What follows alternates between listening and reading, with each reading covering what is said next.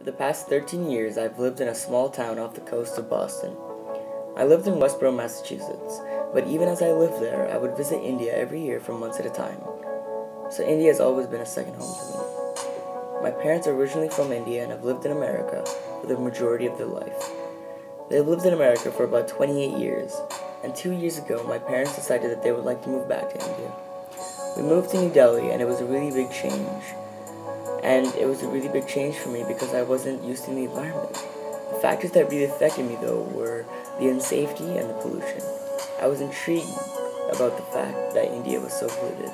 I couldn't get a grip on why it was so polluted and I kept on thinking why.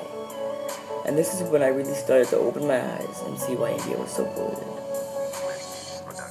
The hazy air and the terrible air quality that's penetrating our lungs can be broken down into many different sections and causes but the one that is most widely recognized by the Indian community and government is the automobile pollution.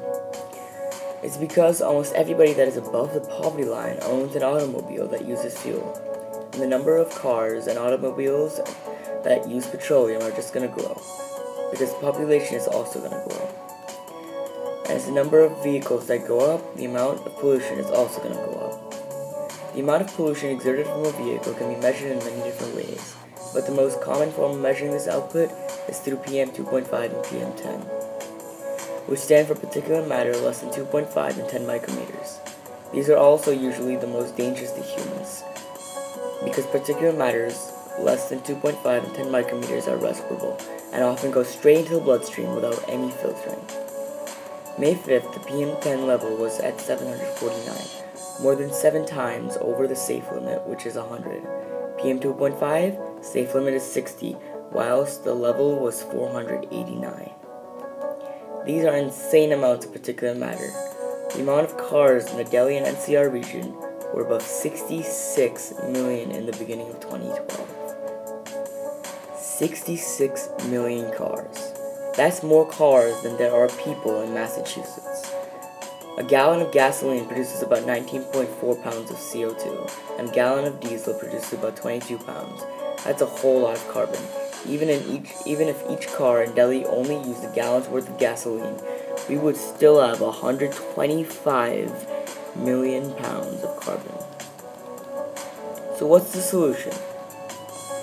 Well, here's what India came up with. Get all the public transport vehicles to switch to CNG.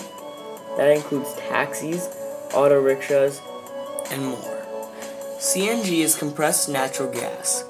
Because of this, Delhi has one of the world's cleanest running bus systems.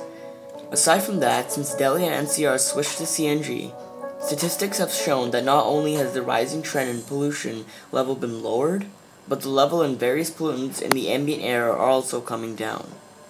This is an overall win for Delhi and an overall win for India.